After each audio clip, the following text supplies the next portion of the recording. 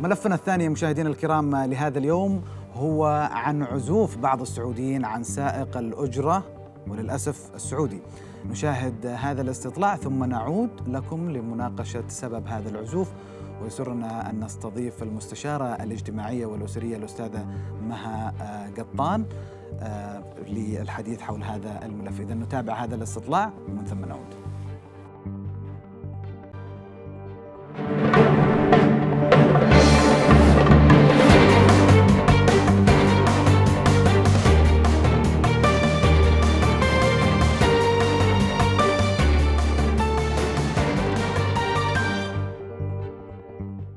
والله أفضل أركب مع السواق الأجنبي صراحة.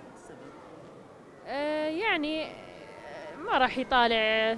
السعودي يعني عربي مثلي بيقعد يطالع بيقعد الأجنبي يعني حتى لو بيسوي شيء لا سمح الله ولا بيتحرش ولا بيتكلم يعني حده بيتسفر. ممكن السائق السعودي اميل له أكثر. ممكن يعني يمديك ممكن تتناقش معه تفاوض معه ممكن يعني أفضل من الأجنبي. الاجنبي متحفظ شوي ما يتفاوض معك بزيادة. طبعا السعودي لأن ابن البلد أولى. والأمان يعني يعني بيكون أمين. في السعودي؟ يعني أقدر أتفاهم معه أقدر أتكلم معه يفهم علي وأفهم عليه. بلغتي يعني. حقيقة ابن الوطن هو الأولوية له وأنا الحقيقة أنا لو رجعت رجعت لي شخصيا فأنا أفضل ابن البلد. ليش؟ لأولا فيها أولا ضمان ضمير مع احترامي تقدير العمالة الأجنبية لكن يبقى ابن البلد هو الركيزة الأولى اللي يعتمد عليها اقتصاد البلد. فابن البلد الحقيقة بيكون هو ابني أو ابن عمي أو أخي أو عمي. فابن البلد مهما يعني تكلموا في الآراء وكذا يبقى ابن المواطن هو رقم واحد. يعني ما تعودوا أول شيء على إنه يكون السايق سعودي. غالبا تعودوا تعودت السيده انه يكون السايق دايم أجنبي. فمن هذه الناحية ناحية التعود الناحيه الثانية إنه عربي وبيقعد يتكلم وزي كذا يعني. يمكن يحب السيطرة. يحب السيطرة مثلا ولا يمكن يعني يقدر يفرض رأيه عليه ينفخ عليه. السعودي ما يقدر. هذه ممكن السبب يعني يخلي السعودي يركب مع أجنبي. الخصوصية يبدو لي هي اللي الحقيقة خلت العالم هناك عزوف نوعا ما لأن الخصوصية الناس يبقون خصوصا في مشوار ومع زحمة المواصلات أو اللي حاصل الآن في مدينة الرياض حقيقة بعد بعض التعديلات هي الخل يعني الناس تبغى تقضي الوقت وبيتكلم ويبغى يدخل على الخصوصية فابن البلد هو الضحية الحقيقة. أنا في تصوري الشخصي يبقى هو الضحية. ليش الناس تبغى الخصوصية؟ مهما ذا فالإنسان يبغى خصوصيته. عشان كذا ابن البلد يفهمه ويفهم اللهجة ويفهم العادات والتقاليد.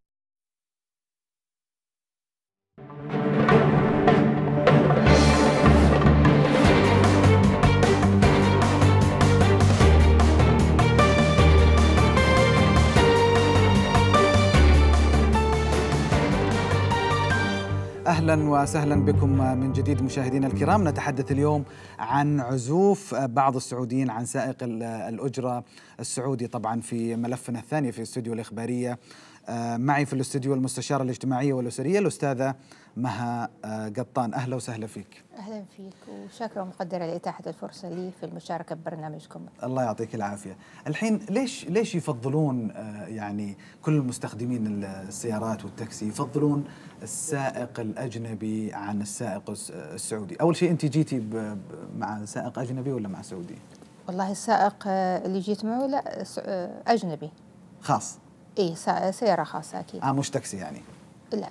okay. طيب ليش ليش ليش الناس تفضل أو بجزء يعني شريحة منهم يفضلون السائق الأجنبي عن السعودي آه هي في صورة نمطية مأخوذة في المجتمع من ناحية إنه الغير سعودي من ناحية إنه هو أفضل لإنه ما يستطيع إنه هو يعرف المحادثات أو يستطيع إنه هو يتدخل في نوعية الحوار اللي حاصل بين بين الزباين اللي راكبين معه. يعني واحد الزبون ياخذ راحته أكثر.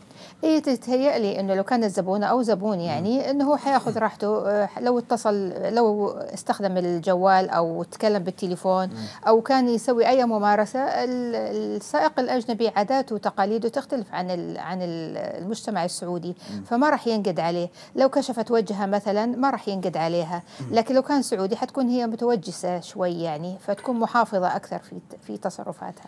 في بعض يعني فيه رأي يقول ان إن دائما السائق السعودي يكون شوي حشري أصلا هو. هو شوي آه، مو حكاية فضولي. شوي هو فضولي وبعدين في شوي لقافة يعني. فيحب يعني يعرف انت موافقة. عن على ذا الموضوع؟ والله أنا إيه لأنه بطبع المش يعني يحب إنه يعرف ي- يلم بكل الأشياء اللي حوله يعرف إيش اللي حاصل حواليه آه، يحب إنه هو مطلع شوي يعني من ذولي أنتم من أنتم أنت من أنت أنت وش أنت آه، فين رايح فين جاي؟ ومنين رايح ومنين جاي؟ ولا لو تقول له أنا بروح مثلا عن طريق آه، الملك فهد يقول لك لا لا لا الحين في زحمة خلينا نروح من طريق ثاني. فاحيانا يكون الواحد عنده اهتمام إنه هو يروح عن طريق معين مثلا. السعودي لا حيقول لك لا. أي نعم هو ملم وعارف الشوارع وعارف كل شيء هذه ميزة. لكن ممكن أني أنا ما أحب هذا الطريق أو أنا آه، أخاف من هذا الطريق فهو ما يحسب حسابات أشياء زي كذا. هل تتوقعين ال- المجتمع يعني عنده هوس بالخصوصية لدرجة انه حتى ما ما يتقبل إنه سائق الأجرة إنه يت- ي- يتكلم معه؟ يعني في دول العالم كلها سائق الأجرة دائما هو شخص أنت يعني تبدأ حديث معه عن البلد يعطيك تصور عن البلد. صحيح. ولا الفضول اللي عند السائقين لا يحتمل؟ لا أنا أتوقع أنه عندنا إحنا تخوف وتوجس. آه، زي مشكلة عندنا الحسد وعندنا ال- الأشياء هذه اللي ال- مش هي دارجة هي أصبحت كنوع من ال- آه، من سمات تميز المجتمع السعودي. يعني حليلين السواقين كويسين ما فيهم شيء السعوديين. والله ممتازين بس المجتمع هو اللي فيه مشكلة. والله بصراحة لا أنا بصراحة أنا أشجع الشباب السعودي إنهم يشتغلون كسواقين أجرة يعني. وبعدين بصراحة أنا أشوفهم نشميين يعني. وممكن إنه هو يساعد ممكن إنه هو يت يعني يتغاضى عن الأجرة شوي ممكن هو العمل ما عيب. يخدم. أيوه ليه لا يعني.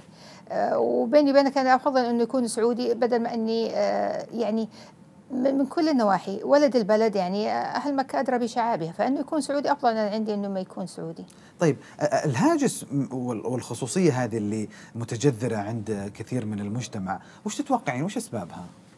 يعني بحكم أنك أنت مختصة مستشارة اجتماعية وأسرية. والله هي في المجتمع عندنا في عنده عدم يعني عدم تقبل الآخر. عدم تقبل للنقد. آه عندنا الناس إنه إذا نقدتني فأنت يعني أكيد متقعد لي يعني. هي ما هي الموضوع بالشكل هذا. أنا ممكن يكون في عندي عيوب والطرف الثاني عنده عيوب وإحنا نتحاور وكل واحد فينا يدلي بدلوه قد تكون هناك آه في اختلاف في الثقافات.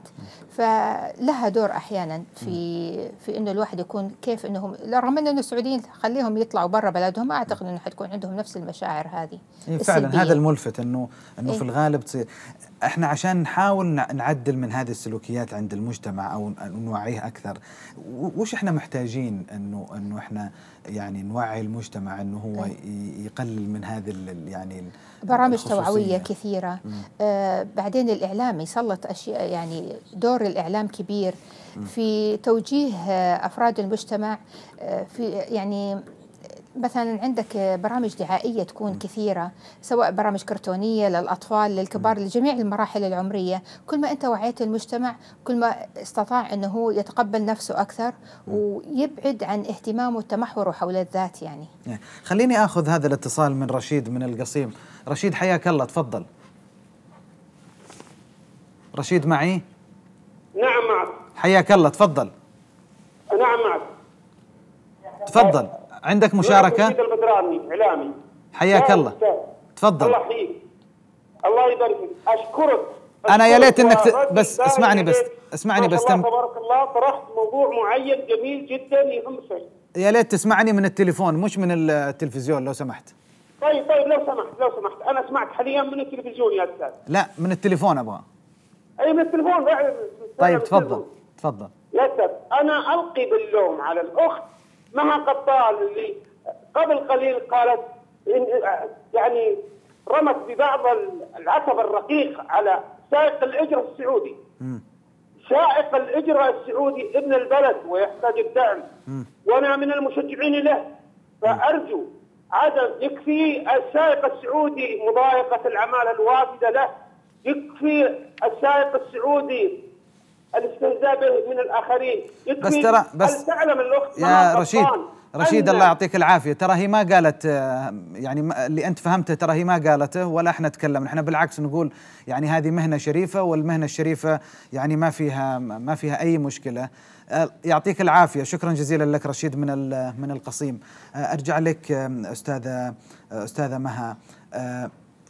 كيف إحنا ممكن نزرع هذا الموضوع عند الأجيال ال- يعني الأجيال القادمة ولعلي أختم بهذه ال- الإجابة لو تكرمتي. زي ما قلت لك برامج التوعية دائما. وبعدين إنها تكون برامج توعية مرحلية. على أساس أنه مثلا نطلع السائق السعودي بصورة لطيفة وجميلة أنه هو مثلا يشيل الأطفال مثلا أنه هو مثلا يقدم خدمات مثلا لما يجي مثلا صرف الفلوس مثلا أنه يعني كيف يتعامل. كل ما طلعنا أنه بصورة لطيفة وبصورة جميلة كل ما كانت صورته محببة أكثر يعني. وتحسنت في المجتمع. وتحسن وصار في له قبول أكثر. وأعتقد برضه بنفس الوقت هذا رد على الأخ رشيد أنا قلت أنا أشجع وأتمنى أنه شبابنا إنهم يشتغلون سبا- شباب أو سبا أو كبار إنهم يشتغلون كسائق أجرة على عكس ما أتوقع إنه ما وصلت الفترة يعطيك العافية المستشارة الاجتماعية والأسرية الأستاذة مها قطان شكرا جزيلا لك.